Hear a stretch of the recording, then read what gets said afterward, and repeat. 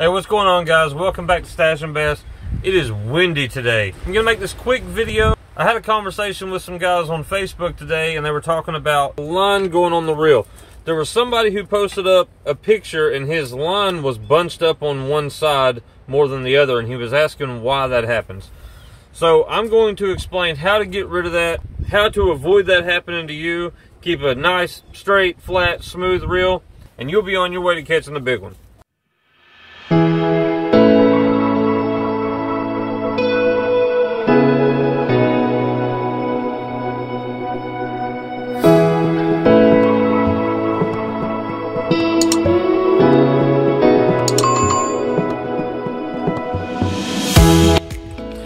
so to start this video, I'm going to use just some old backing line that I have laying around. I don't have, I was going to respool my Curado, but I don't have the line that I want to put on it right now, so I need to wait on that.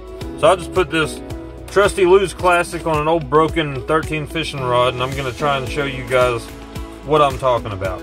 So to begin with, whenever you go to start putting the line on your reel, you want to put your line through your line guide.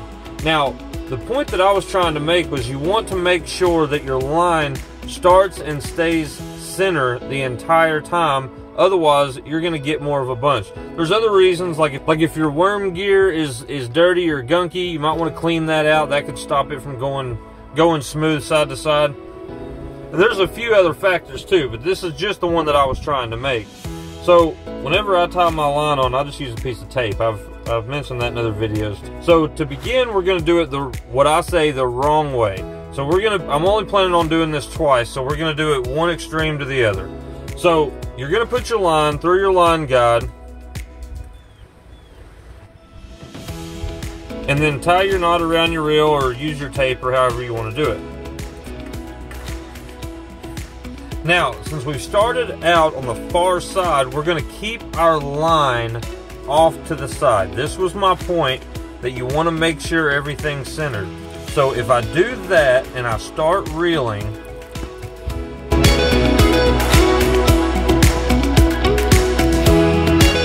you're to start to see it bunching up already.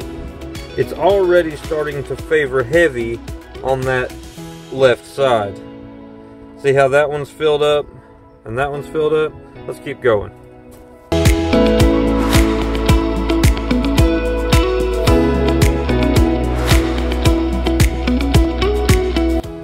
Now hopefully you all can see what I'm talking about. Let me take this phone off of here. Now you all can clearly see the gap on this side versus the gap on this side. This side is much smaller than that side. The reason is because the line went off-centered and, and I heard a bunch of you say that if you just keep spooling it, it will correct it. No, it will not correct it. It will just get worse, as you can see. The more that I put on there, the heavier it got on that left side.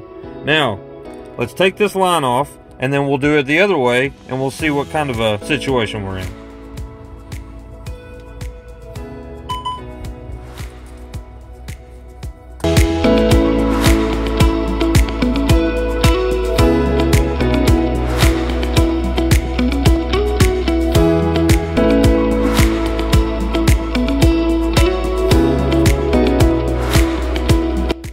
Okay, now for the second round, we're gonna do the exact same thing, same sticker, same way of mounting everything.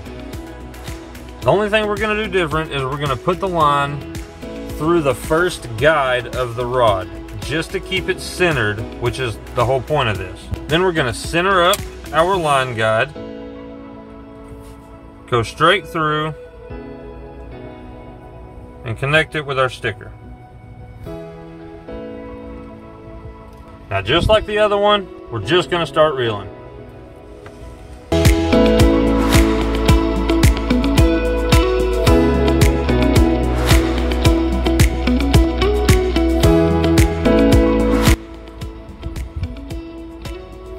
Man, this wind.